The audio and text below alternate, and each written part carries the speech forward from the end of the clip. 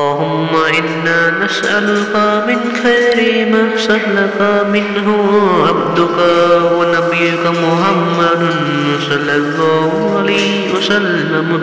ونعوذ بك من شر ما استهزأ منه عبدك ونبيك محمد صلى الله عليه وسلم.